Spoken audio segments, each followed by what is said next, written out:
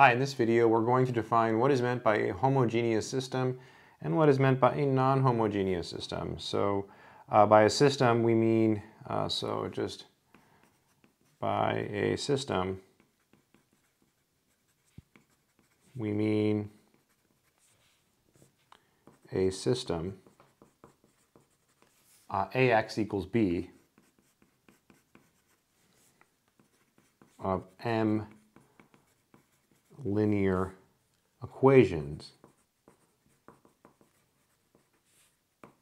in n unknowns.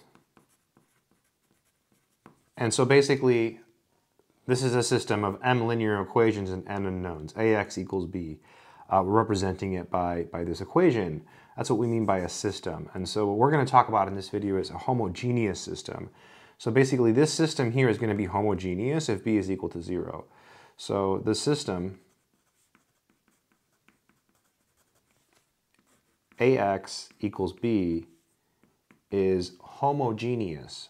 Homogeneous